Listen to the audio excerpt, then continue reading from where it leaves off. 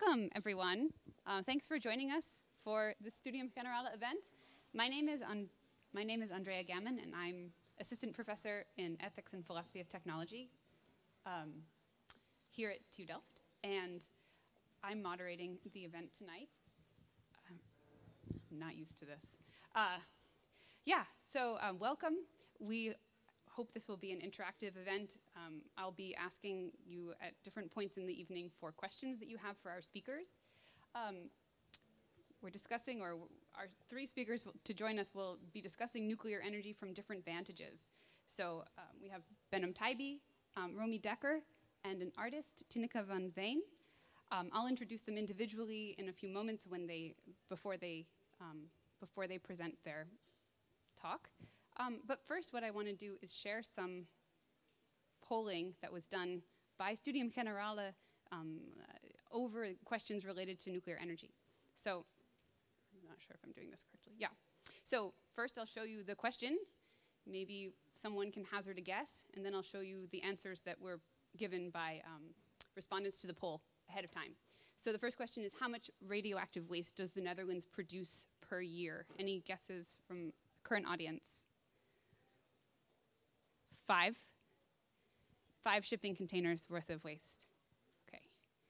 The actual answer is 16, so it's a bit, larger. Um, how much radioactive waste does the world produce per year? Any other guesses? Okay, I'm too afraid of getting it wrong. 12,000 tons per year. I understand. I don't. I, I don't want to guess. Ah, choose the middle one. Okay, I'm not sure. Um, maybe, uh, maybe we can test this. Which percentage of nuclear waste stays radioactive for a long time? A long time is not very specific, but if it's the if the pattern holds in it's five. Any guesses? Uh, Behnam says one, and he's right. So it's only one percent, but it's for a very long time maybe we can think about that in specific ways uh, with our speakers.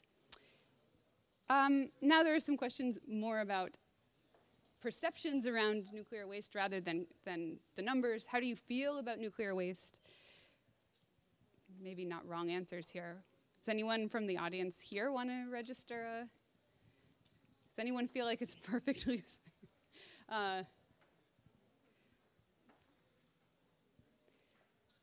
This was the results from the polling beforehand. Risky but necessary is maybe how most people feel I would guess. Some people, five, vote, five people believe it's perfectly safe. Should we build more nuclear power plants? This is a live question in the Netherlands right now, of course. See, not, I see nods, but I don't know if that means yes, that's right, or yes, we should build more. Um, actually, the people who are polled really are in favor of building more plants. So I think the, the current proposal is to keep the Borssele plant open longer and then build two additional plants. So um, that's something that maybe we'll discuss tonight. Who bears, and this is the final question, I believe, who, this is maybe the most philosophical question uh, of these and um, maybe a framing question for, for this event. Who bears the responsibility for nuclear waste? I don't have answers, I don't have poll answers to this. I have two sample answers, but I'd also be interested to hear ideas from this group of people. Is this our responsibility now? Yeah. Sorry, I have to. Currently, I think it's the government of each country that has to be ensure that the waste is stored safely and pay for it not the company who generates the electricity from nuclear power, but the company. So it's a yeah country or national responsibility rather than the, the companies producing it. Um, the there are two responses that we're sharing here, sort of two different kinds of yeah we do is very general I think and maybe we we have that intuition, but then also those who produce it. So I think maybe this could this might refer specifically to these companies or to countries. Um, I would, I think maybe we should keep this question in mind as we have our speakers, and maybe we can come back to this at the end.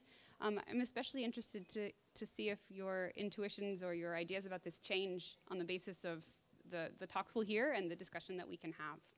So, thanks for that. Um, now I'm going to, oh, I wanna, one more thing I want to say is to let you know about the format that we'll be using. So we have three speakers. Um, they'll each speak for about 10 minutes, and then we'll ask for one question after each speaker um, from you all, or if not from you, then I'll come up with one, but it would be best if it were from you.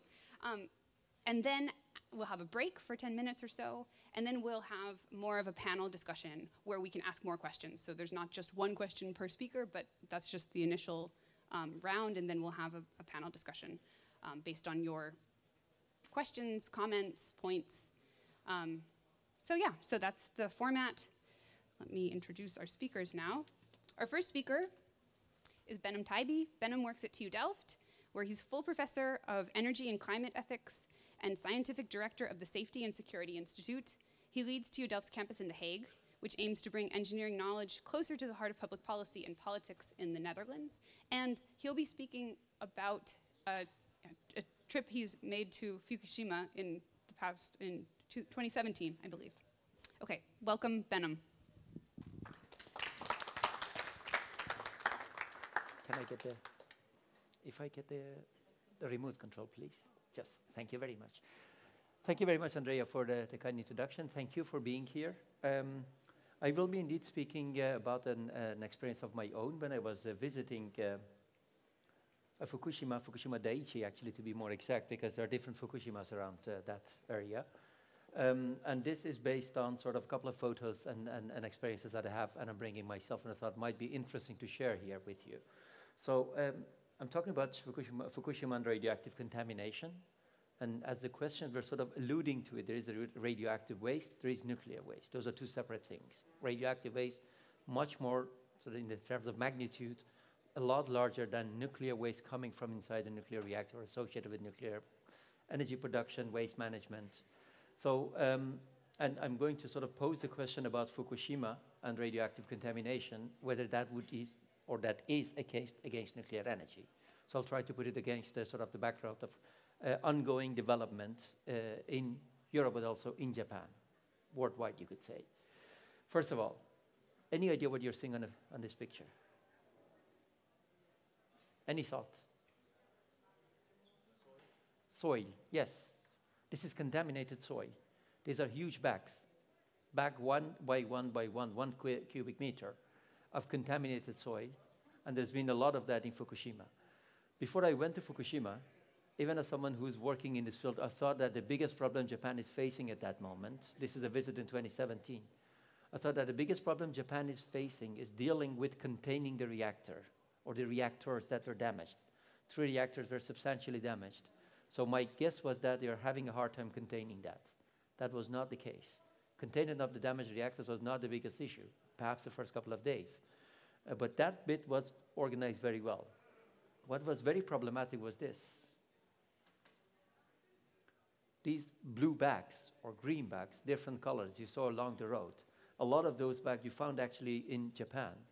And this was a trip that um, we made together with colleagues from International Commission on Radiological Protection. We were working on a publication that is forthcoming actually later this year on low level and intermediate level radioactive waste management. So not the 1%, actually the other 99%, which is the largest in magnitude, but a lot of focus, especially in the my literature, in the ethics literature, is about the 1% because it's long-lived, it's very dangerous, it's very difficult to get rid of, and so a lot of attention goes there, and that's a missed opportunity because we need to also talk about the 99%.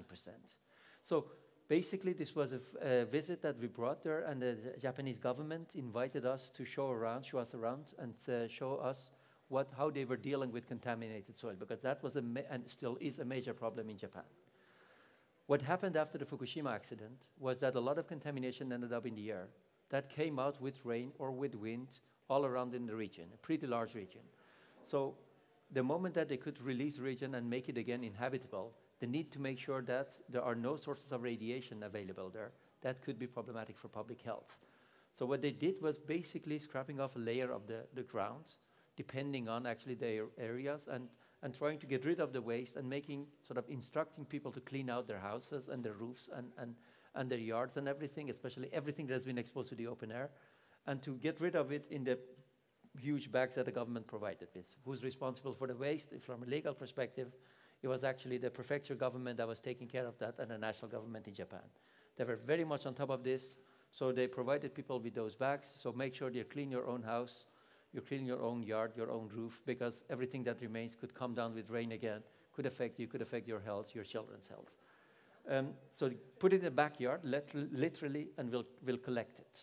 And they did. A lot of that was collected, as a result of which there were millions of these blue or green bags are collected just all around the region. A lot was still there. When you were traveling actually through region, 2017, I'm talking about seven years, seven, six and a half years, I'm sorry, after the accident, a lot of those bags were still in the backyards and needed to be collected. And a lot of them were brought to these kind of sort uh, intermediate or improvised places, you could say, and they were backed and rebacked because the whole idea is you need to collect that soil and you need to make sure that water doesn't seep through and the radiation doesn't seep through the earth because that could contaminate actually the water, uh, the water surface, which is absolutely what you want to have because at the end, it could be also sort of that is the water that could come up to the surface that we could drink, that animals could drink, animals that we might eat later, etc., etc. So basically, they did a lot of rebagging and rebagging, and at the end of it, they needed to actually sort of put everything in. I think three, four, five layers of bagging they do in these bags that went uh, were collected again, depending on the the particles that were in the soil, and depending on that, they decided what to do with it. A part of the reason this is us basically measuring the radiation, or just like playing around with a uh, uh, uh, Geiger counter, not really measuring anything. Uh, they were showing us around, but you could see for yourself that different bags would have different radiation levels. Again, very much depending on what particle is in it. Certain high radiation levels were not there, were immediately actually removed, had to deal with as, as nuclear waste, had to go to actually the geological places for later, dealt with as something very dangerous. Uh, others uh, were basically low level or intermediate level waste and those are the lower levels of waste that they need to soil, they need to do something with. So you saw a lot of these kind of images. And another problem that they were encountering was, and again, something that I learned when I was traveling through that region, is that it's a, a super hilly region. So there are just there are no straight roads. Uh, big uh, cars or big, big trucks cannot drive there. So at best, you could uh, sort of move around six to eight of these uh, one cubic meter uh, contaminated soil, say around eight, nine tons of that, uh, which means that all those millions of bags that need to be traveled around or moved around from different places actually, that took a lot of these kind of sort of logistics to make sure that you at least collect and again move around and make sure that you do something with it. So these are also images. This is a schoolyard uh, because the first days of after the accident, they needed a lot of empty spaces that were used for collecting soil and just dumping it there, because there is not much you could do at that moment where you need to collect it later and need to sort of categorize it based on the radiation levels and need to deal with it. So a lot of these actually sort of being, being again, collected, bagged, and rebagged and shipped. And again, this is just, uh, you could easily see that walking around, you're dealing with different radiation levels. And these came to these kind of improvised facilities. Um, this is Date City on the background, I think around 100 kilometers from uh, where the accident took place, one of the big cities in Japan. And you see that a lot of, in all those hills around the area, wherever they could find some place, they, these bags were sort of positioned temporarily, and you need to deal with it one way or the other. And one of the reasons they were actually showing us around was they were showing us some experiment on how to deal with it, because Japan is, a, is an island with no natural resources, no substantial resources. Everything is a resource on an island. Also, soil is a resource. So you could just get, you can't just get rid of it as waste. You need to reuse it somehow. One of the things that we're considering, the first one of the first things that were mentioned was to use it as a lower source of agricultural land. That sort of engendered a lot of controversy in Japan and outside Japan. They sort of forgot about that idea. And the, the new idea was to reuse it as uh, the first layer of uh, infrastructure for, for building roads, use it as one of the layers for building roads. So you're reusing it one way or the other. And again, this is the least dangerous type. This, but still, you can just use it as soil. Still, there is some radiation uh, that, that you need to sort of get rid of. and most of that radiation is uh, the type of the type that will sort of deactivate itself in pretty short time. But still, you can't deal with it as just soil; it's contaminated. Um, nuclear disaster or not, uh, humor never ceases. So when you walk through those millions of, I mean, in our case, thousands of actually bags that you could see, you could see a lot of these kind of funny features or funny smileys that, uh, that, that radiation workers or workers that were actually leaving behind. Um, so you saw a lot of these kind of images. This was us uh, to wrap up this bit. Uh, this was actually, this is the commission, and it is actually the conference that the ICRP organized, and um, there might be a minor problem with this photo. Uh, I just thought, I, I, I don't. Emanuel, indeed, yes. When I was putting that as hashtag gender gap 2017, the organizers weren't too happy. Um, but back to actually the question. What kind of question, what kind of problem is uh, the, the Fukushima problem? It's a technical problem indeed. As engineers at this university, we understand and we sort of approach things very much a technical problem.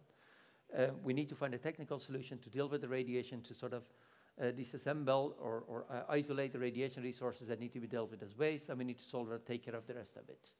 It is a logistics problem. Again, it could also be very important how we move around and how fast we could move around those bags. One of the reasons there was still a lot left over, and if I may believe actually the news resources say that there is still a lot left over, it's because it's also a logistic problem, a huge logistic problem for Japan. Is it a policy and governance problem? Of course, because they need to come up with some kind of measures to deal with it, um, and you need to, they need to also sort of uh, uh, uh, accommodate uh, new facilities, come up with ways, regulate it in a way that it could actually reuse that soil as, uh, as construction uh, material or any other way. It is a radiation pro a protection problem. Because again, even small dose of radiation, it needs to be regulated. It should be clear how long you're being exposed as an individual, as a society, to what levels of radiation, etc., etc. Is it also an ethical problem? Of course it is, and that goes to the core of actually the session here. And because whose responsibility is it?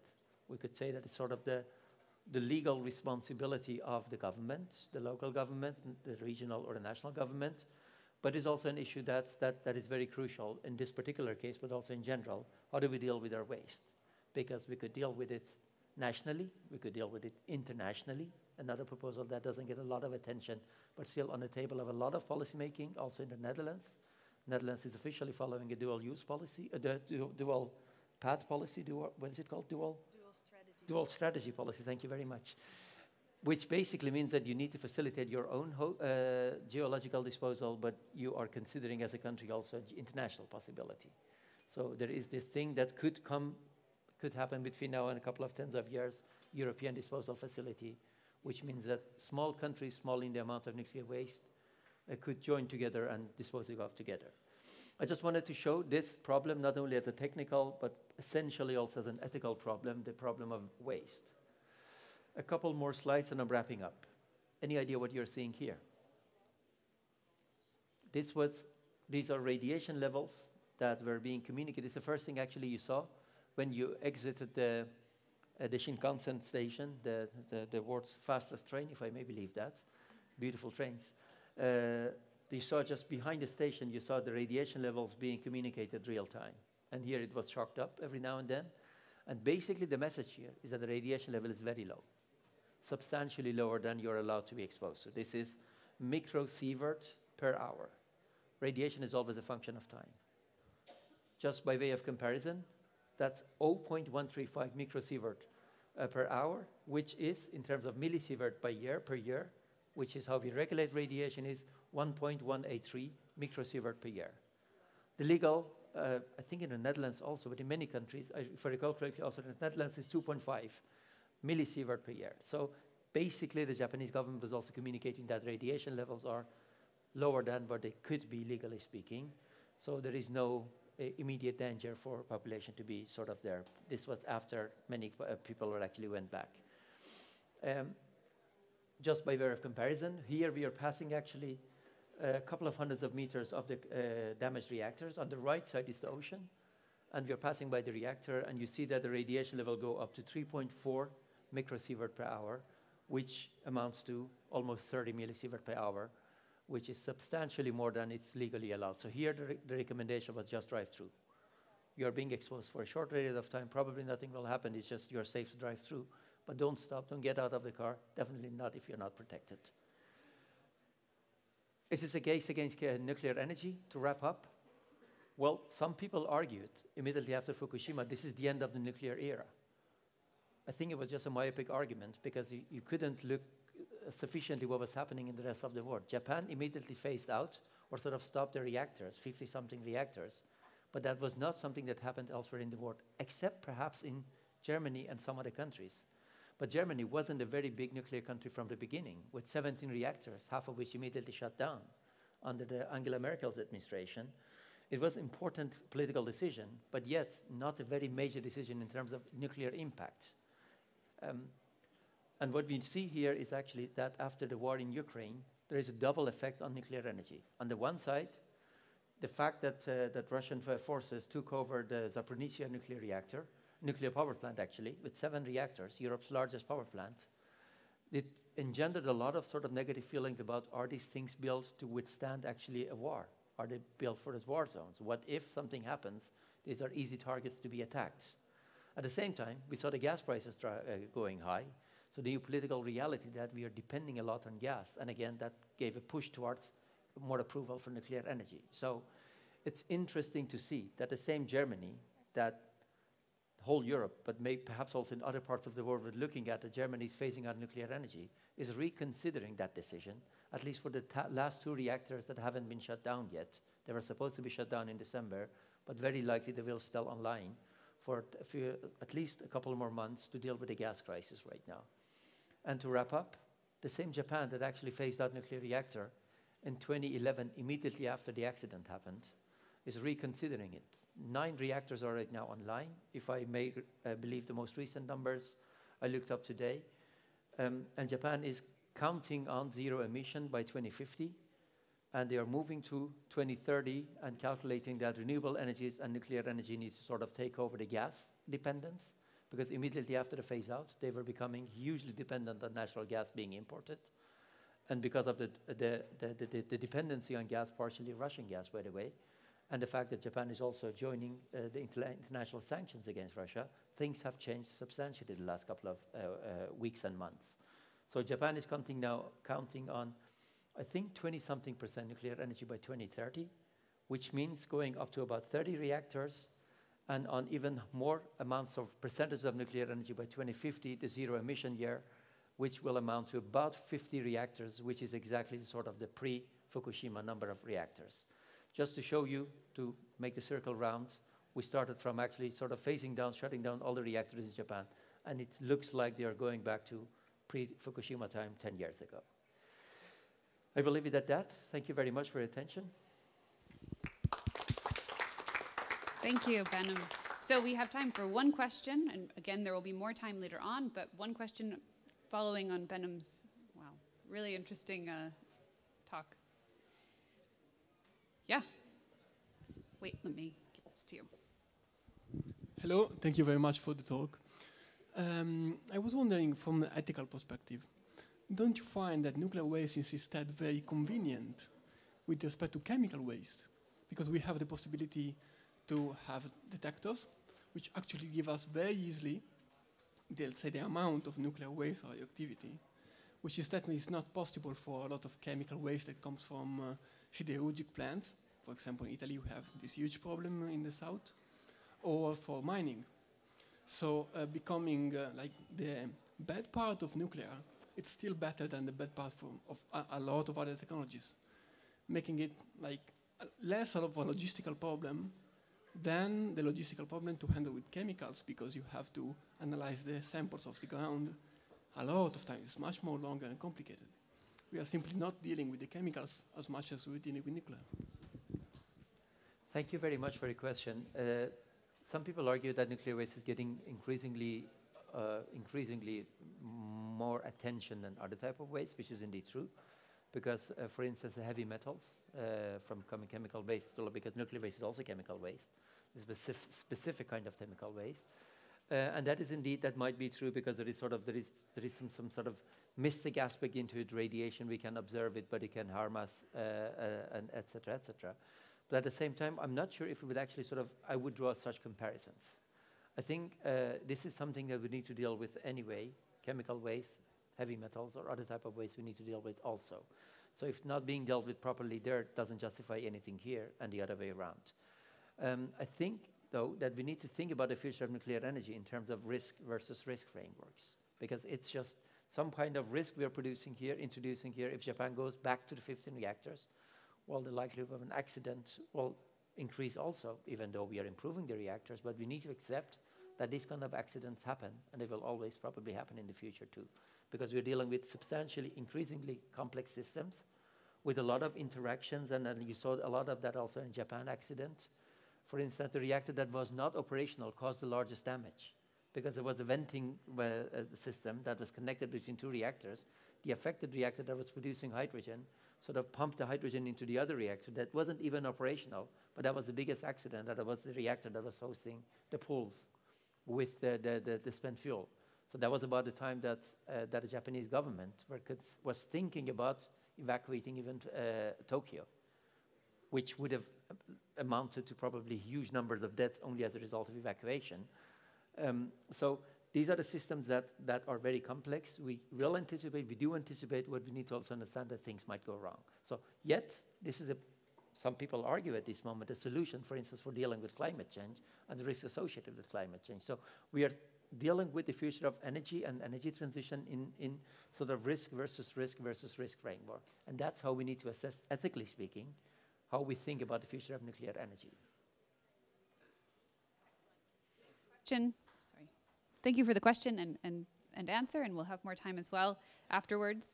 Um, but next, we have uh, van Veen. And are you going to share a video of uh, yes. an art installation or an yes. art piece of yours? But you'll also give a talk yeah, a little? Uh, as an introduction, so okay. you, you can better maybe understand what you're going to see. And of course, I'm a visual artist, so my film is in fact, the thing I want to say, but uh, I thought it would be nice to talk a little bit about it.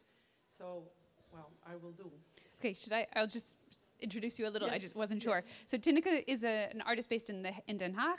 Um, her most recent work concerns disturbances in the relationships between humans and the environment. And she works specifically, maybe not exclusively, but I think the work you'll talk about today, in sites of these disturbances. So, for instance, in a residency also in Fukushima, um, or also in France, where you've worked in um, sites where atomic bombs were developed in the 1960s. And her work explores concepts of safety and vulnerability and resilience. So let's please thank welcome you. Tineke. Well, thank you. You all come here uh, to, to listen to us because I think it's a very uh, important subject. Um, so, and giving me the opportunity to participate in this event. Um, well, I'm a visual artist, like she told, and I made a film, Unsettling Dust. I also made a film in 2015 in Japan on the same topic as uh, Behnam already told you, and it was a very short experimental film um, because I think in the art you can show in a different way what is going on as, and well, participating with the, with the science is, is very important. Um, I made this film not alone. I did it with Barbara Prezij. She studied here in uh, the TU Delft uh, for um, landscape architecture uh, for a master, and now she's doing a PhD uh, in uh, Scotland. She's a Slovenian person, and I met her after we met each other about this subject. Nuclear waste is an urgent topic. How can we give next generations a safe world to survive in and to live in? And like yesterday in the VPRO Tegenlicht uh, program, I don't know if you saw it from Glenn Albrecht.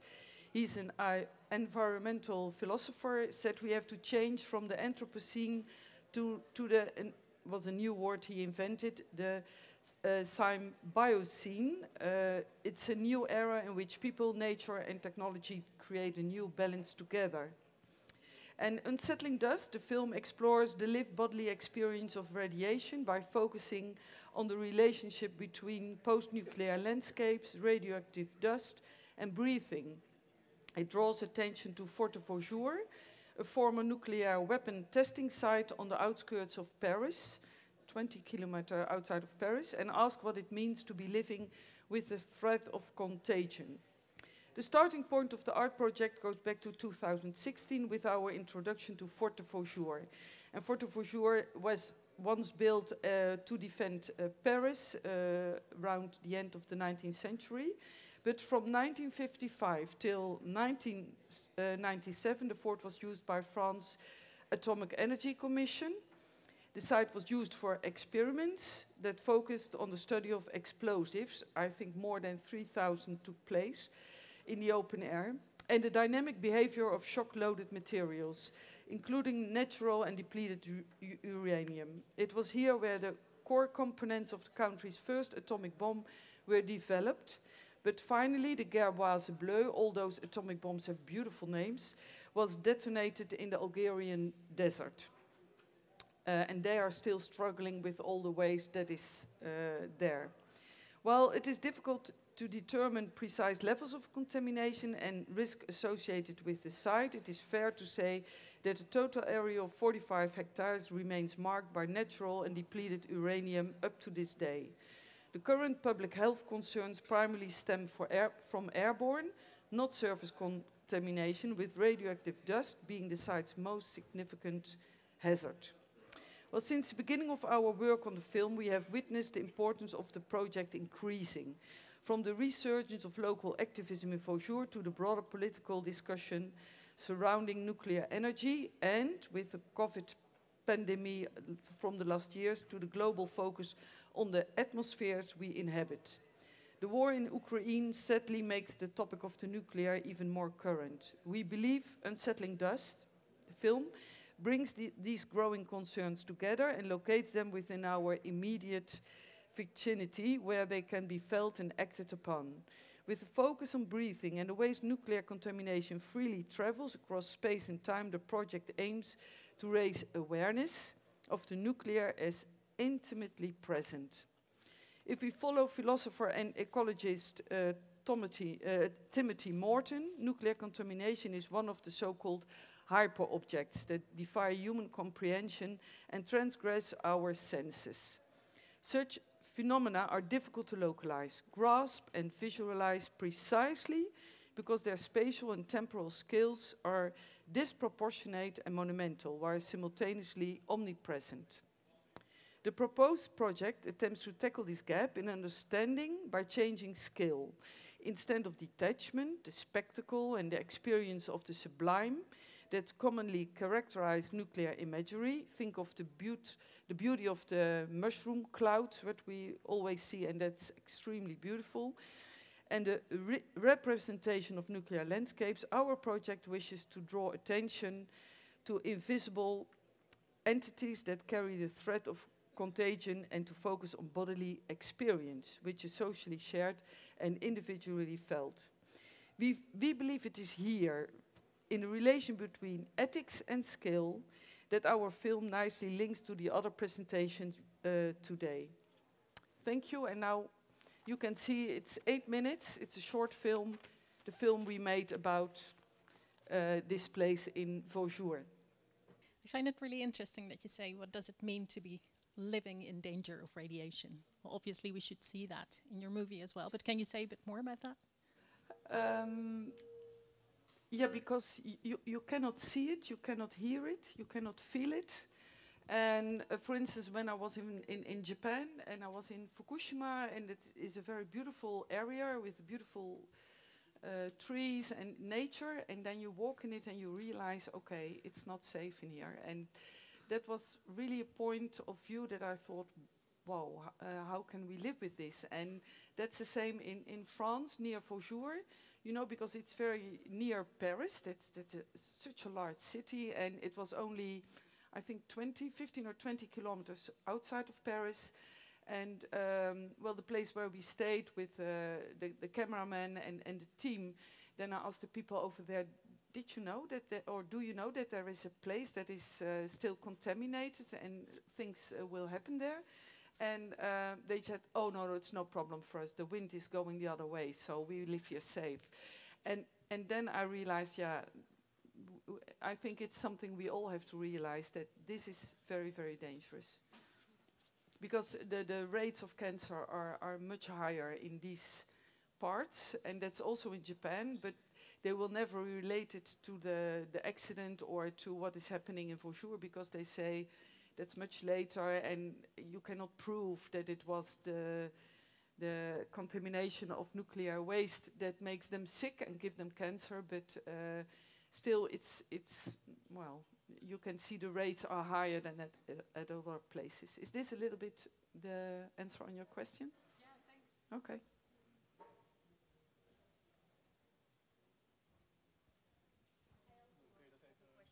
Yeah.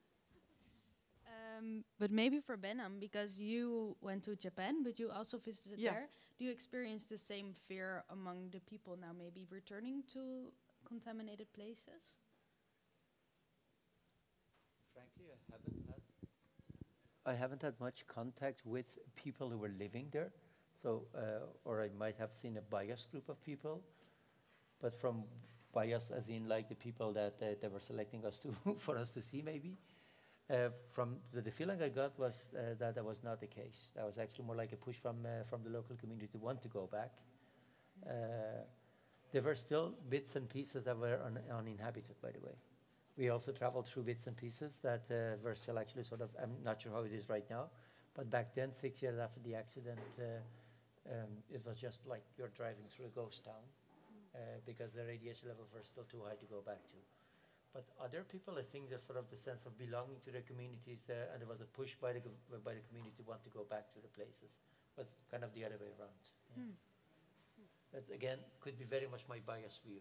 Yeah, I- I, I stayed with a family uh, in, in Japan at that time uh, who had a big rice company and a very good rice company, but that was totally uh, down because nobody wanted to buy any rice anymore from over there, from Fukushima, although they had tested it that it was safe. So there were a lot of consequences for the people over there, but really frightened. Um, no, I was at, I think at the same time or a little bit later that there were still a lot of places that it was not able to come back. And now you see that a lot more people go back over there and try to start their, their living again. But, um, well, it, I think in the future we will see if, if cancer will be a greater problem in these regions. I don't know. I have a very, well, a tech technical question from somebody who knows nothing about nuclear waste, etc. Why is the soil in Fukushima, the, radia the radiation goes down very fast, as you said, at least part of the radi radiation. And in this area, it seems to be a problem for decennia. So what is the difference? Is it because it's more enriched material, or what's the reason? The type of particle, basically. It's a type of particle because if it's a it's a it's a military facility, if I understand, and it's from Tineke that used to be a military facility, then you're dealing mostly with probably enriched uranium and plutonium, and both are very long-lived, and with, with decay time, sort of the half uh, uh, uh, uh, value time of very long time.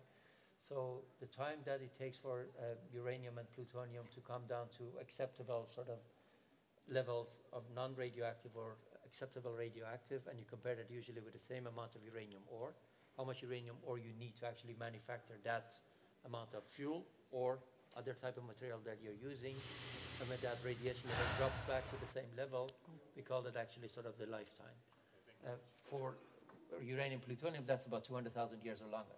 For this, what I'm talking about is between a couple of years, some, some type of uh, uh, uh, particles might even be shorter. Okay, I think it's working. I heard a breath. So.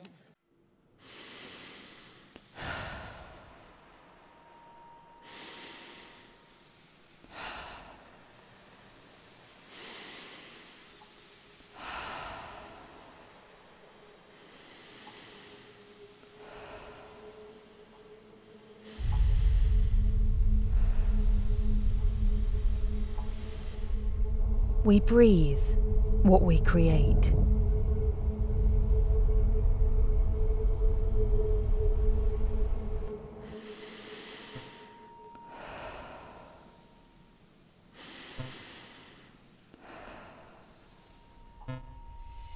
You've come to the right place.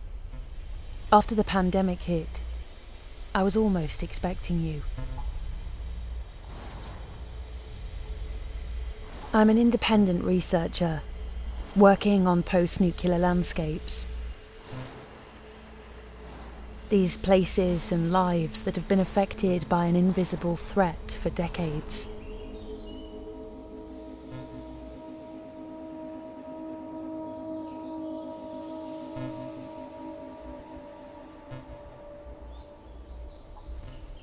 The iconic images of nuclear tests in remote locations far from the capitals of the testing governments are widely known.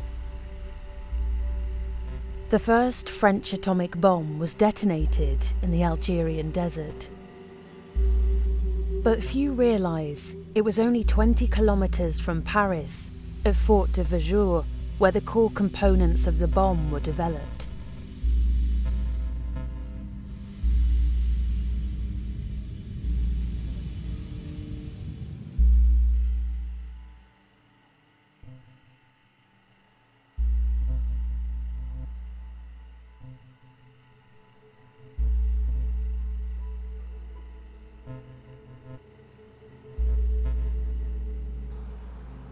A Geiger counter, placed on a wall inside the fort, revealed radiation levels 30 times higher than normal.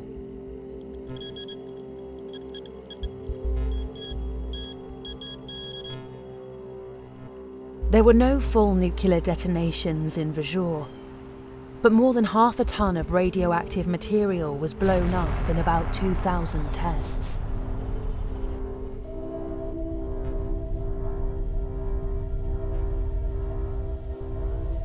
Before they were moved to one of the nuclear testing bunkers, these experiments took place outdoors, releasing uranium in the environment and creating the risk of radioactive particles inhalation and ingestion.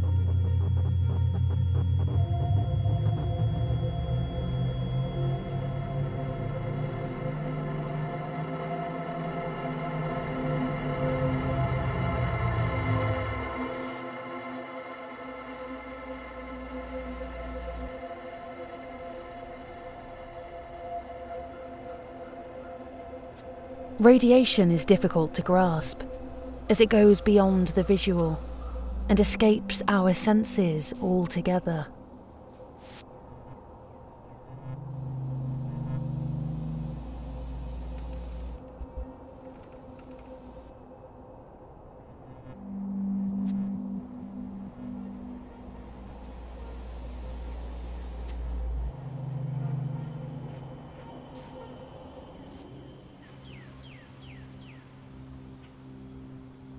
Vaujours' Nuclear Research Centre was closed in 1997 and turned into an illegal dump site.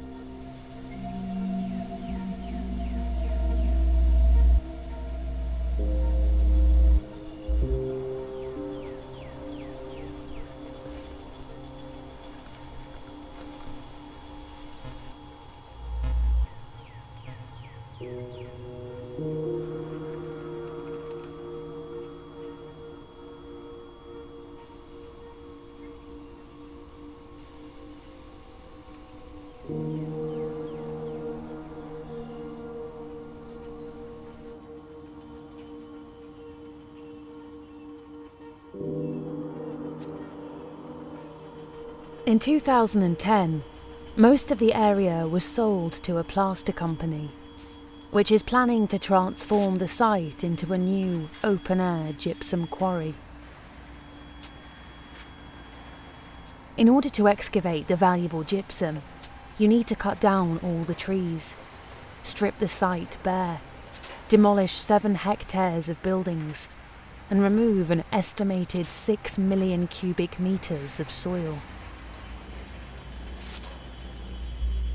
Uranium is a heavy element, and without disturbance, radioactive dust particles eventually end up stuck to the soil.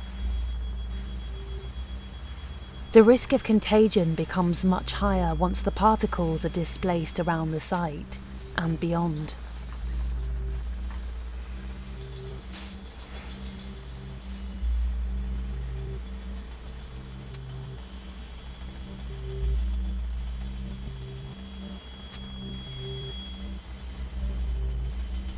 How can we ensure that the explosion's residue did not reach the gypsum bedrock that is planned to be mined?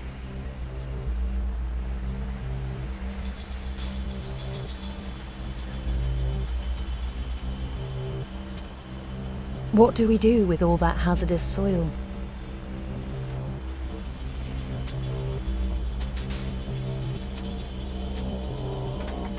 How do we demolish the remaining buildings without spreading the contaminated dust?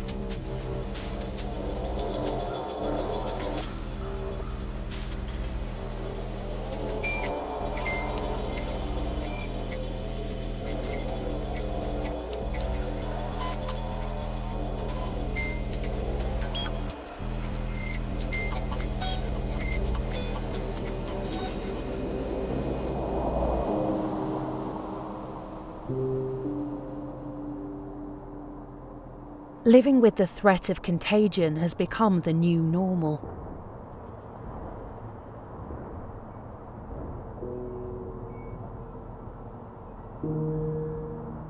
Radiation's invisibility allows us to hold on to our familiar daily habits, and it allows the authorities to repeatedly dismiss it.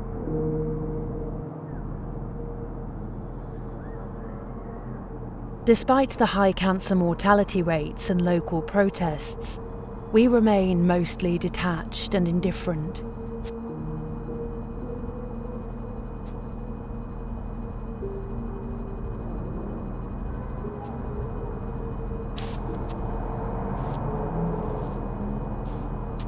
Oblivious to our human affairs, radioactive dust leaks and escapes. It passes through the environment and comes intimately close.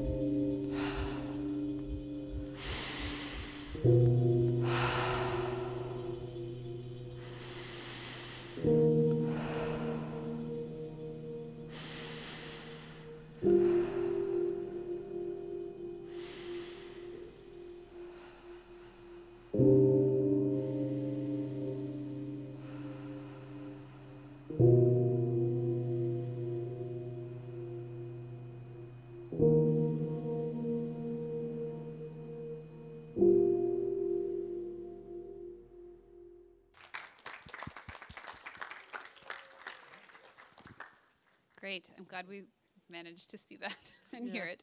Um, one question for Tineke um, before we hear from the final speaker, and then we can come back. Is there anything? T- uh, well, I have a question then. If uh, I'll She, she oh, sorry. Um, why did you choose this rather scientific, dry way of speaking for the voiceover? I was wondering. Um, yeah, because it was very difficult f- for me to use a voiceover to tell the story and not only to show. I made a short version of it with no sound, so you you oh, with sound but not with a voiceover.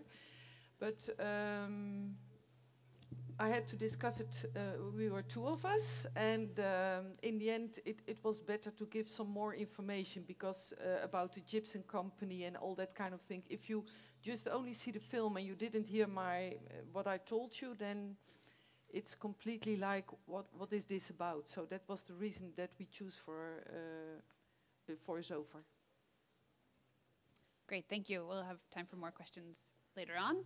Our final speaker is Romy Dekker, who works for the Rathenau Institute. Uh, Romy works specifically on societal issues related to controversial technologies, including radioactive waste, um, democratic decision making, and digitization and data governance in the energy transition.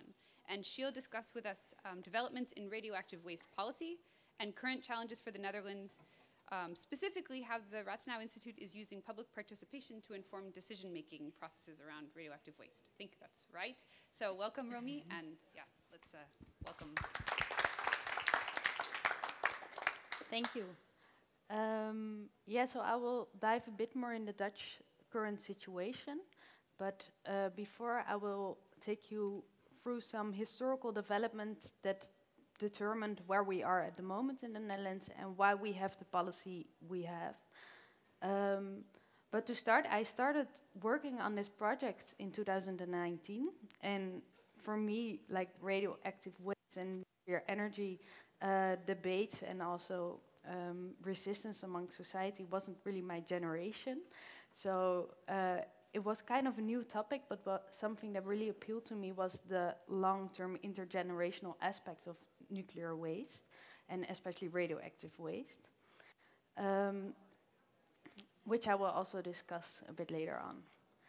So to start, um, at the Rathenau Institute, we have been asked by the Ministry of Infrastructure and Water Management to come up with an advice in 2024 on how to organize decision making on the long term management of radioactive waste and how to engage the public within this decision making.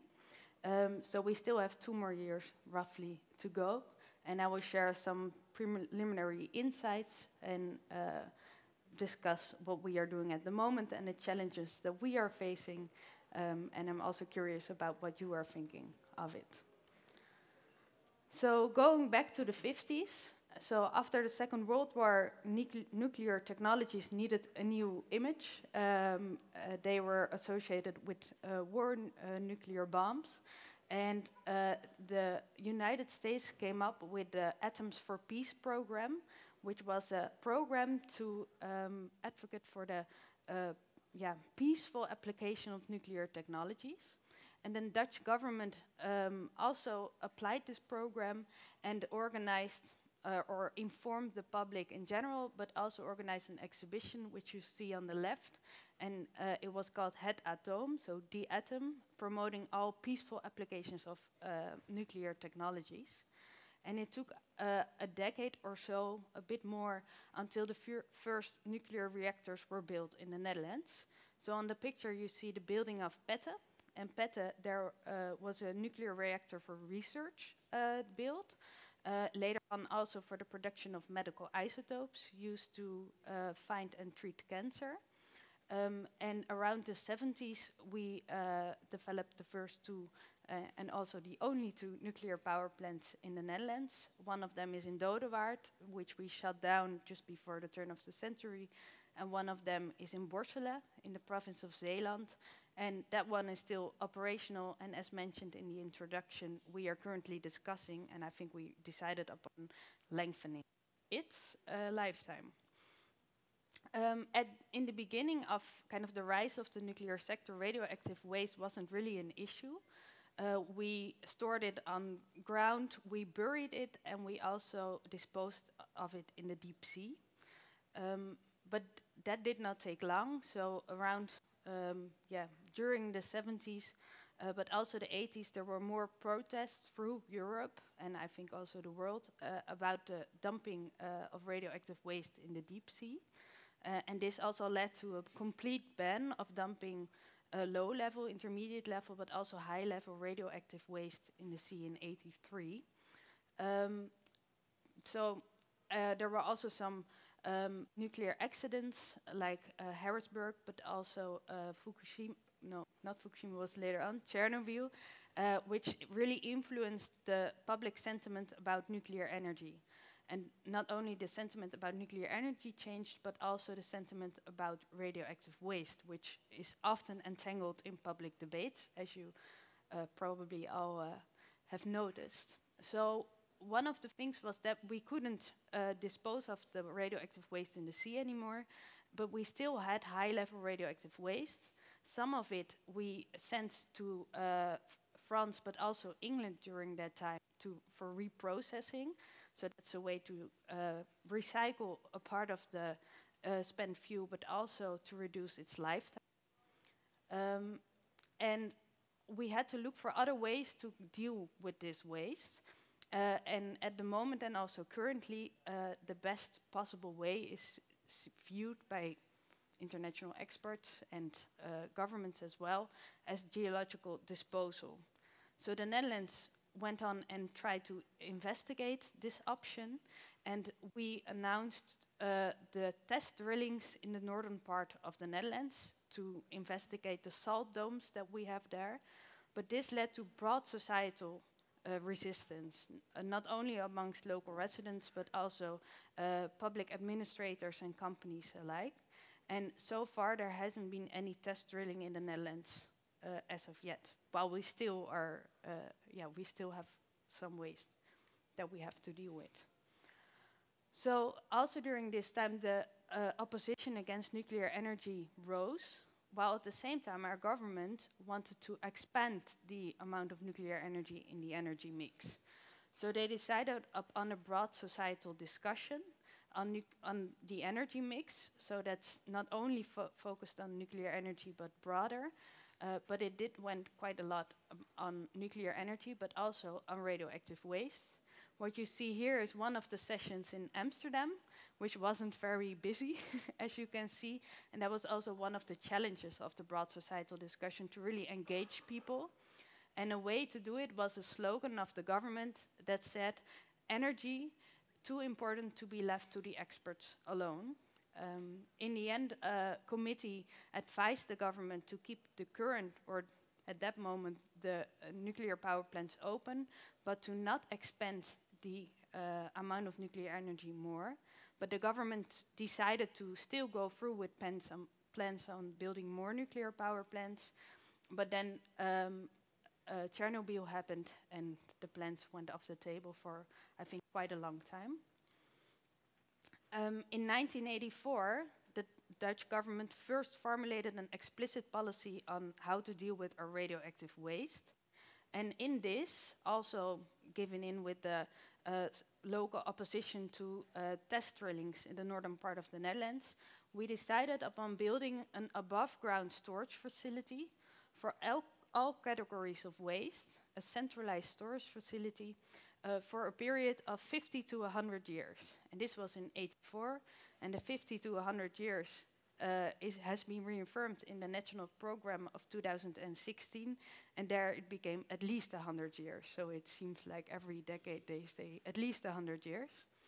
Um, and uh, there were also new policy principles mentioned, which is minimization and safe management, uh, which also influenced how the radioactive waste was managed. Uh, the above ground storage facility was constructed by the COVRA, the Central Organization for Radioactive Waste, and it's also located in uh, the province of Zeeland, nearby the still running power plant. Um, currently, all policy is documented in the National Program for Radioactive Waste. This one is 2016, and in 2025 we will have an update of this one. Um, and it sets out the main policy principles for our radioactive waste management. The first one is minimization of the production of radioactive waste. And one of the ways, ways this is done is that you have to have a permit to use nuclear technology and to produce radioactive waste. And it has to be justified. So one way or the other, it has to have uh, societal, economical, or otherwise benefits to society. And then you can have a license to um, uh, use nuclear technologies.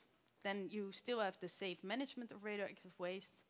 The other one, and I think that's also particularly interesting for our discussion today, is that there shouldn't be an unreasonable burden on the shoulders of future generations. And waste producers are responsible for the costs of its management, and I think that's similar to what you said. In the Netherlands, it's uh, organized that if I'm a waste producer, I bring my waste to the COVRA, and once it's behind the COVRA's doors, they are responsible for the managing of the waste, and I pay the COVRA for managing it. Um, so that's how responsibilities are organized here. And the COVRA is an NV. I don't know the English word for it. Uh, but the uh, Ministry of Finance is uh, sole um, aandeelhouder. Yeah. Um, so one of the things that was also said in the national program is that we uh, kind of a rough time path. So around 2100, we will decide on a disposal method in which we foresee its geological disposal, but we will have a definitive decision on this in 2100. And the construction of the disposal facility should be around 2130. So I don't know how old you all are, but I, you can imagine that we are all not there anymore, which also makes it very challenging to organize public participation because often in public participation, the public concerned, so the, those most affected by a decision, are to be engaged in public participation, but the public concerned with the disposal facility are not even born yet. Uh, so that makes it quite kind of a challenging, um, yeah, um, task to organize public participation. And in thinking about organizing decision making, the national program uh, introduces three requirements. Uh, the first one is reversibility, and which is operationalized and also with the, I think this is, uh, yeah, developed by a lot of international organizations, on which, yeah, I'm there, the uh, NEA and the IAEA, um, that it should be step-by-step -step decision making. And in each step, you should look at where are we at the moment, is this still what we as a society want? If not, we should adjust our steps, reverse, or choose another path. And this is also a way to make sure that future generations aren't uh, left with a decision we made that they can't change anymore. This also brings challenges. So if you can reverse every decision you make, how can you even make steps forward?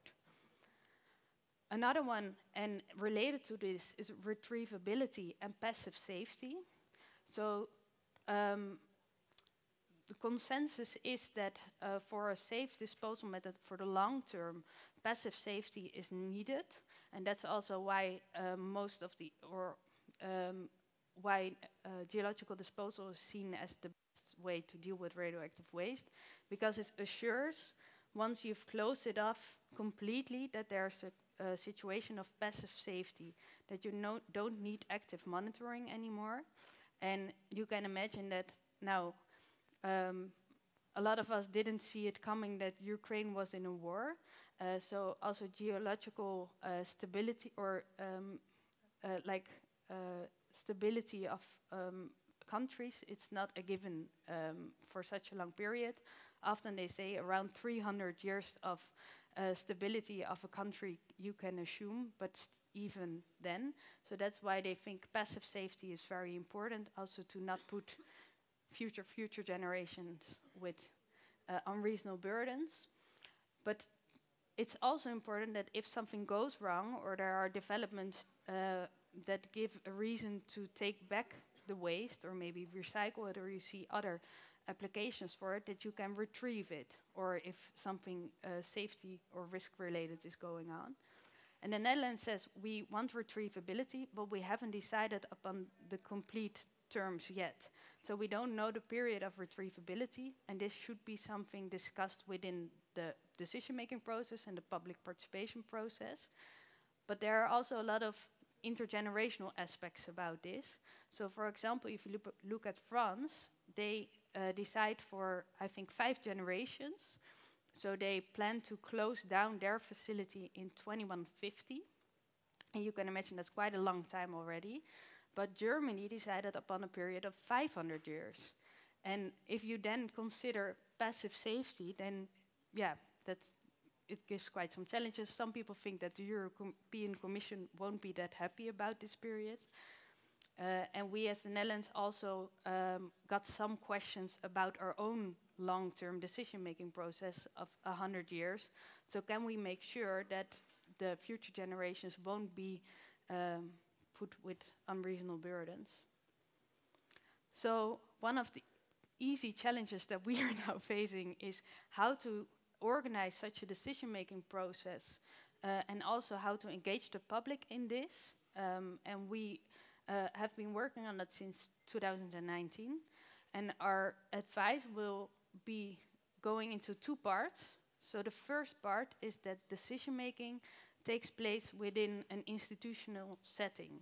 And it is not only something that happens here in The Hague, but this is a more broader democratic process in which society, science and technology, and laws and regulations are also involved, and they all together shape the decision-making process. And we, are, we have been looking at this institutional setting, um, this, there, its strengths and its weaknesses, and we are in the upcoming year going to um, go into dialogue with experts and stakeholders and sometimes citizens on how to strengthen the ecosystem. And part two will be concretely about identifying the building blocks for decision making, but also instructions on how to deal with the building blocks. So organizing decision making on such a complex topic also asks questions on wh when to decide what, with whom, um, in what way, and uh, at what moment in time. And also taking into co considerations uh, the aspects of putting no unreasonable burden on future generations, what procedural justice is if you are talking about a topic like this.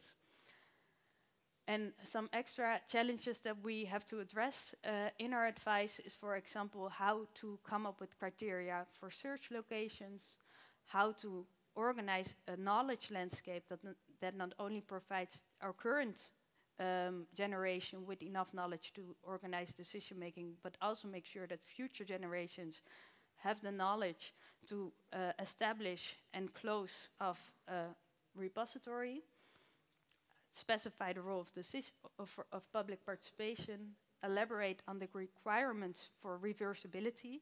So what does it mean to have such a principle? What does it mean and how you organize decision making?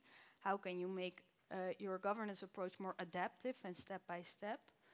Um, and also to define the optimal period for retrievability. So these are just some of the challenges that we are addressing in our advice and uh, currently working on. And if you are interested, we have a website. Unfortunately, it's in Dutch, uh, but we uh, really uh, would like to answer any more questions about it. Okay, let's have one quick question for Romy, and then we'll also have time. We'll have a break, and then have more of a panel discussion afterwards. But any any questions for Romy first? Yes, let me bring you the microphone. Uh, thank you for this talk about uh, indeed decision making. One of the main questions for me would be uh, how do you organize? Uh, maybe that's not part of the, the, the project, but how do you organize the organization that then lives for a, hundred years? Is that also part of, uh, you talked a lot about indeed the decision making, but I can imagine that you also have to have an idea of what kind of organization maybe you're talking about. Is that something that you or your colleagues also think about? Uh, yes, um, we do. Um, in the Netherlands, we have the COVRA, and the COVRA is end responsible for organizing um, a geological disposal. So they're currently responsible, but will also be in the future. So that's one of the organizations of which we can expect that will be there in 100 years from now. But we look also at what type of institutions do you need to organize such a long-term decision-making process.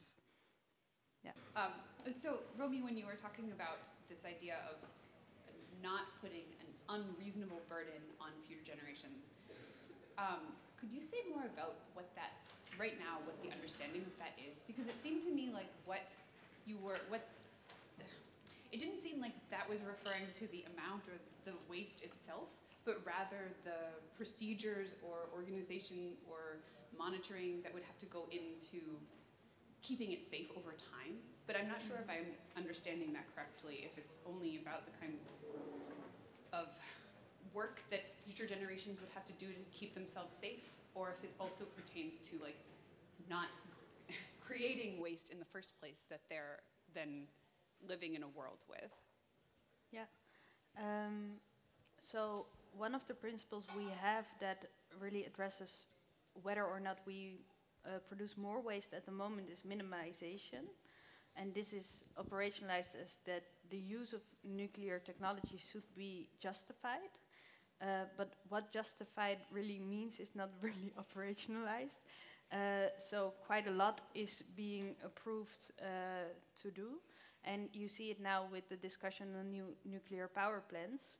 So when we started this project in 2019, the discussion on nuclear energy wasn't as uh, present at this moment. So um, if I would go to a, um, a, birthday party and I would tell that I was working on radioactive waste, everyone would look at me like, why? And if you tell it now, then they're discussing nuclear energy and whether or not we should pursue it.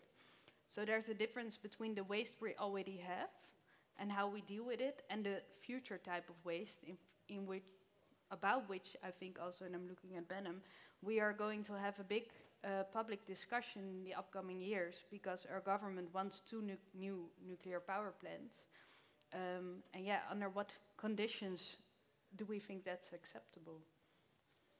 Thank you. Yeah. If Uh, I may uh, Yeah.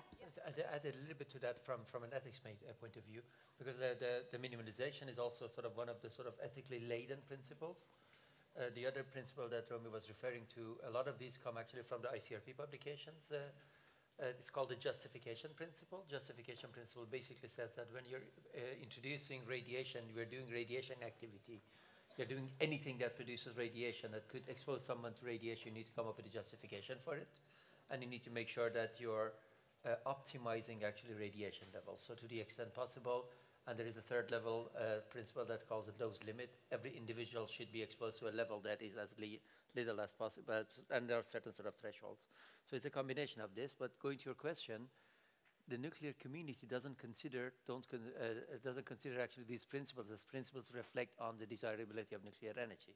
It's very much about now we have this waste, we want to actually deal with it, uh, or it comes from from medical practices. If you are considering nuclear medicine, is it justified that you're considering nuclear medicine? Or if you want to reduce radiation levels in some place. So these are how the principles are being sort of applied. And, uh, and many of these principles are, uh, to make it a little bit more philosophical, actually very utilitarian, uh, or at least consequentialist thinking in terms of you need to make sure that there is more benefits than there is, than there is burden, and how do we com- actually compare burdens and benefits, in which unit do we express it in money or not.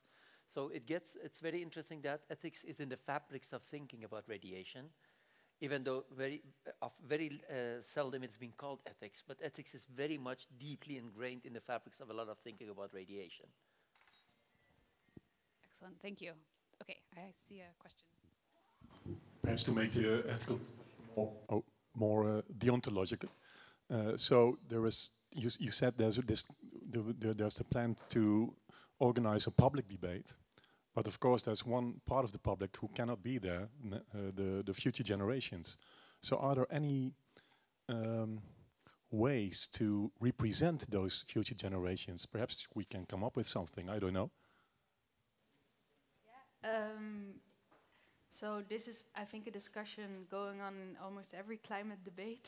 How can we represent future generations in the decisions we are making today? So I think we are currently working on a, a generatietoets, a generation assessment on how every decision we make within policy impacts future generations. There are also future generation committees, I think, in Scotland as well. Um, but we are also uh, having this challenge. So, what does this mean for organizing public participation? So, who should be engaged and how to engage them? And sometimes you see, for example, that environmental organizations say we represent future generations, but you can also have someone of the nuclear energy uh, sector saying, well, no, we represent future generations, so who represents them and how to incorporate it? So for us, it's quite a challenge, but I don't know if, yeah. There have been experiments, there have been different approaches, different experiments, also assigning committees that think on behalf of future generations. They, they, it's pretty much the generation test, so the generatietoets. Uh, and there have been different approaches in different parts of the world, assigning, and, and there's been also uh, art, uh, and particularly actually novels. There's been a lot of thinking. I'm actually particularly thinking about the Ministry of Future, uh, that, that novel, that really thinks about actually how do you sort of represent the interest of, interests of the ones who don't exist. And it becomes very sort of fuzzy because what do they want? How do we know what they want? How far in the future? How far in the future are we going to care to offer protection? Is it exactly the same protection we are offering as a different protection? Think about long-lived waste that is going to, to live around for a couple of hundreds of thousands of years, depending on your de- definition of radiation level, up to one million years even. That's five times as much as our species has, has lived on the Earth. So then, then things become much more sort of profoundly complex to answer. Um, but the, the essential of your question remains. How do we represent non-existing people? Uh, and how do we ensure that the interest of people is ensured whose interest we don't even know? Maybe also to add on this, um, so what I showed in like 50, 60 years ago, we thought it acceptable to dispose of radioactive waste in the sea. And that isn't something we should we would do at the moment. So also think about what is an acceptable solution also changes through time, um, as we can see also with the public sentiment. Let's see, one, two, three. Oh, okay. Does it work? Faster than I It's working. Okay. Um, I found that we are maybe missing or uh, not considering an important piece of technology we have nowadays, which are the burners. Certain reactors that are able to burn, not like chemically burn, but to uh, deal with high-level uh, nuclear waste, such as plutonium or americium, post-uranic uh, uh, elements. Basically, you put them in this special kind of reactor, and you are demolishing them with neutrons so that they become closer to medium-level nuclear waste. This, I guess, has implications on both the organizational part. So, in a future in which we have plenty of these reactors or enough, we could not have the problem of high-level nuclear waste anymore, and also about the ethical part, because then the, the medium-level nuclear waste is produced by medicine, and no one has doubts about the ethics of that, I assume. And so, if the nuclear plant doesn't produce any more high-level nuclear waste, that changes a bit the picture, I guess. What do you think about this news, let's say? I'm not sure if I follow entirely the, uh, the technical reasoning, because there are indeed type of reactors, even conventional reactors could burn some, some of the plutonium produced. Borssele is running right now on MOX, uh, partially MOX, which is mixed oxide fuel, which is partially plutonium, partially uranium, and the same plutonium is actually that comes from Borssele, so there's some reusing going on there. But it doesn't even out. It's not like every all the plutonium produced in Borssele is used. That's one. So even assuming that we are going to reuse everything coming out of the reactor, we still have a lot of surplus. That's one. That's another thing that's important. More importantly, there is a lot of actually plutonium all around the world unused, coming from the uh, from the, the military facilities, but also coming from the dismantled warheads. A lot of plutonium, and, and that's one of the reasons that, for instance, the United States moved away from reprocessing, reusing, and producing even more plutonium, because there's a lot of unused plutonium, but also highly enriched uranium there are ways for using that as fuel, but it's, it's not so easy that if we do that, we can get rid of all of it very easily. At the end of the day, you'll have to deal with one way or the other some kind of geological disposal. So the ethical problem will unfortunately remain.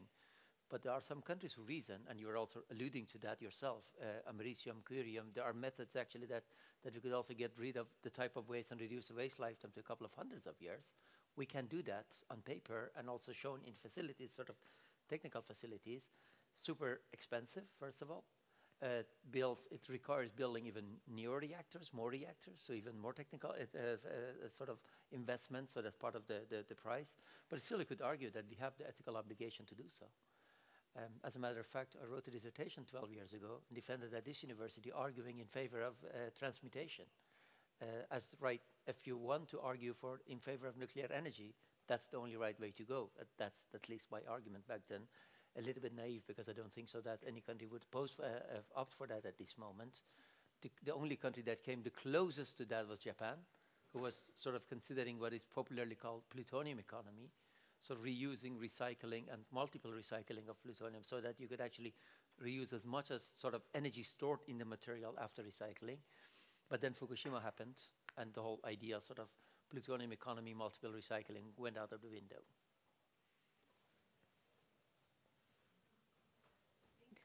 Uh, first, in, did you have a question? No? Okay. Then I think Ashish had a question.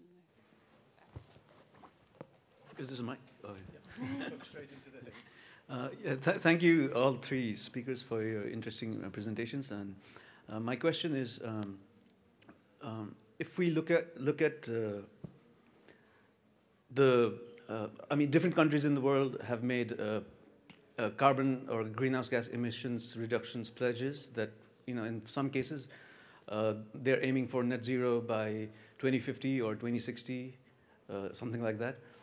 But um, the analysis by the IPCC itself shows that even if those pledges and commitments were to be met, we're still on track for like 2.4 or 2.7 degrees Celsius temperature rise. And uh, at that kind of temperature level rise, uh, uh, we have to anticipate uh, major societal uh, breakdown, uh, collapse, major disruptions. So as we're facing that kind of future in the not so long term, do you think how would we uh, ever be able to safely manage and operate uh, nuclear power infrastructure? Um, because we're going to have to deal with uh, major disruptions with uh, food, scarci food scarcity, uh, droughts and floods and, and things like that. So uh, what views do you have about this? This future that we're facing. It's a very difficult one. Romy is going to answer. yeah, well, I, I know the COVRA um, who is uh, conducting safety cases, and a safety case is a method in which you collect all uh, current data and knowledge on a geological disposal method, so either in clay or in salt, for example. And in their models, they do take into account sea level rise. Uh, but still, this also has a societal impact, of course, and the stability of governments and democracies. And I don't know in how far they take this into account in their models, um, but this is certainly some uh, a type of insecurity that we have to deal with in governing radioactive waste. I think the biggest, uh, one of the biggest actually sources of disruption is human impact. I think one of the biggest challenges is that disposing of in a place that people will won't dig it up. People in the future won't dig it up. Somebody asking actually the question about mm-hmm. institution, mm -hmm. which institution? How do you pass on the knowledge? the monitoring that is substantially different in different countries, for instance. The biggest challenge is that how do you communicate with future, far, far in the future, in a way that it wouldn't be an invitation to dig it up, but more like a sign, please don't come close. And there's a lot of interesting sort of experiments on, and again, artists have done amazing work here. Uh, sort of how do you actually come up with something that gets across the message, don't come close, yet wouldn't be considered as an invitation to an average archaeologist, uh, so stay away here from here. But do we do that in languages? Do we do that in institutions? In the Netherlands, there is this, this firm belief, and I think it's a very good one.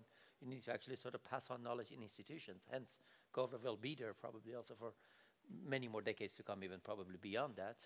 But I think I, I, I, I don't believe, especially when you think about deep, uh, deep geological, that uh, that or like climate disruptions are going to be a bigger challenge. I think that human disruption is, is going to be even a bigger challenge than climate disruption. But, uh, moving away, uh, uh, moving away, not I mean from uh, well, uh, not just thinking about nuclear waste. Let's say uh, about the the nuclear infrastructure, current nu nuclear infrastructure itself, because. Um, we saw this summer that because of the extreme heat wave, uh, rivers in France dried up, and then you know they had to sort of shut down or you know like temporarily halt uh, some nuclear power plants. So you know also those kinds of things that are related to like uh, present day operation. I think that's absolutely as a remark I, I couldn't agree more. It's, it's very important to think ahead. It's also very important to think ahead in terms of uh, potential new new tsunami waves, for instance, because these reactors, most of them are built on shorelines for a good for a reason because we need access to fresh water, which is potentially a risk. And every time, and that's it's sometimes called a paradox of safety. Every nuclear disaster makes the world a little bit safer because we know how to avoid such a disaster in the future. After Chernobyl, we started actually developing our reactors in a completely different way. We moved past, we moved away from active safety to passive safety. How do you build a reactor that doesn't require a an operator that has to pay attention all the time?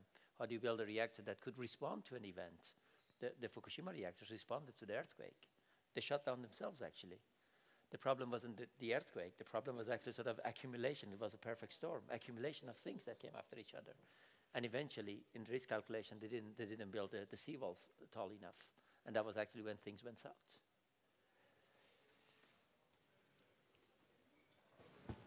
Does it work? Yeah. I have a question for Tineke. Um, you obviously choose a completely different perspective. I mean, we're talking about decision making, institutions, and so on. And I was curious to hear um, how did people react, and do you think this was a good means with a movie to, um, I don't know, make sure public engagement is yeah arranged? How should I say that? Um, Yeah, I think that that is always difficult with art because you don't want to give solutions or to say we have to do this or that. Uh, I really want to create awareness so that you think about it, like what what can happen and and what consequences are there.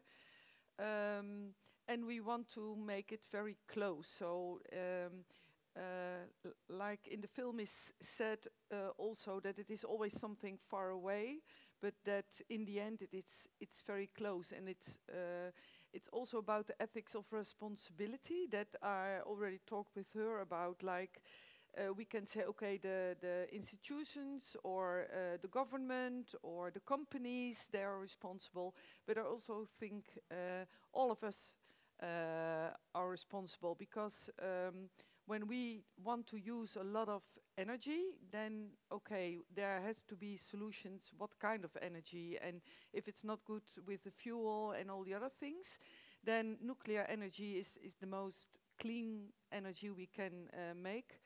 But um, still, then there's so there's so much risk, and, and, and then especially for future generations, we we, we, now we will have a good time with each other and, and grow, grow, grow. But in the end, uh, it's the future generation who has to deal with it. And, and even what you said is very important that because of the climate change, the, the, uh, it's another risk which is extra on, on everything what, what is already uh, a great problem with it. So what, what I try to do uh, as an artist is to, to, to give this other perspective and to make it feel for, for everyone itself very much like uh, who am I and you know it ends with the water you drink and, and so you, you deal also with it. But Great, thanks. Okay. You're welcome. Maybe a related question for Tineke or for anyone, but maybe especially Tineke. I- I- I- In all of these the in pres these presentations, it really just strikes me how quickly it seems like public opinion changes. So from Behnam, we hear that okay, yeah, we all experienced Fukushima, and we saw immediately this this shutdown in Japan and in Germany as well of nuclear facilities, and now it's 2022 and other things have happened in the world and that trend has reversed in a lot of cases Yeah. and i was struck also with, with your film how i mean and, and this parallel was drawn out in the film as well but with with covid and the k95 mask and it, it feels sort of familiar even though we are in a landscape i've never been in and i've never and so i wonder like can we use things like this, like your film or other kinds of um, artistic methods to maybe help us think longer term or, or not lose sight of the things that we've kind of learned or it just it seems like there's such a back and forth and it doesn't seem like there's a gaining of yeah, I don't know. Maybe this is kind of cynical, but it just doesn't. It doesn't feel like a development. It feels like swinging of a pendulum, rather. And I wonder if there, are, if if art or artistic practices give us a way of reflecting or something that other deliberative practices maybe miss out on, or are too kind of susceptible to, yeah, political or public. Uh, uh, yeah, maybe. Do you have an idea of what I'm asking? Yeah, yeah, I have an idea, but I, I think the first thing what uh, strikes me is that that um, the the public, the people you reach, is another public with uh, art uh, than uh, the, the scientific world and and and that kind of thing. So that's one of the important reasons why it's so good to to see uh, in another way and. Um, when you talk about it and you read about it in the papers, you know, not everyone is reading it, but film and other kinds of artistic ways to to show your uh, perspective on on topics um, it's really important uh, to do that, and uh, I, I, I think it really helps. And in the in the other way, it's about imagination. The the question about um, can you imagine how future generations uh, live with it? Well, that was also something I tried to show in my film. You know, by coloring it in a strange uh, way, and that you have the idea you live in a city which is totally without people anymore, and how uh, how will we deal with that? So, and and of course it it's very in a way good that uh, things happen now that we all realize we have to do something, and uh, also about the problem. Uh, how can we for future genera- how can you think for future generations i think it's very important to make young people critical uh, uh, and, and make parents critical. So you know that there is a lot of discussion, and uh, that can also help for future generations, I think. But art is an extremely nice way to see to, to make it not very heavy, you know, but that you go out of the, the, the cinema and think, what, what, what do I have to do with it? That, that, that's maybe the main point or, or an exhibition. Is, is a little bit an answer on your question? Yeah, no, okay. I, I don't think it was a question that's. Uh, okay. Yeah. No, that's very, yeah, that's nice. Um, anyone, final questions? Wrap up, I think we're past our time.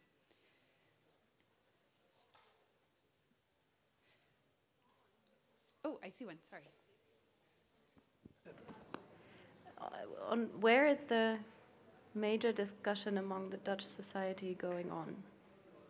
Is that because I don't see many people on the streets, but is that in social media? Is it in the newspapers? Where, or is there any? And if yes, where is it? On what topic? On uh, nuclear waste. New, yeah, or or energy. Um, well, it's related, right? Yeah, I think on energy, uh, Behnam is the person to ask. Um, also, nuclear energy, there's a lot of discussion going on on the desirability of how fast moving and moving away from fossil fuel to what. Nuclear energy has become uh, an important topic increasingly, actually, the last couple of months. I'm not sure if there is much discussion going on about nuclear waste. There is sort of some, some coming up and going down. Let's assume that we are not leaving the building.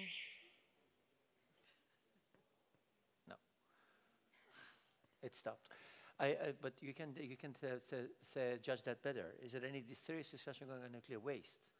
No, but that's also related to the, um, the, the phase where we in, in related to decision making. So if you're going to make a decision around 2100, then why have a big political debate or societal debate at this moment? But what we do see is uh, that this also changed. So the Institute did a, a research on public participation about radioactive waste management in 2014-15. And then the public said, well, um, at this moment in time, we are not interested in discussing this topic. Now it's something for the expert. Um, and in a later stage, um, uh, yes. Uh, but the world changed since 2015, so I can imagine that also now discussing two nu new nuclear power plants, that the topic of radioactive waste is back on the agenda. So it's even mentioned in our regeerakkoord, um, where they say that they're going to find a acceptable or safe solution for radioactive waste, but it's not elaborated on what it's meant with with that. Um, so yeah, for now it's um, it's returning on the agenda, but still very limited.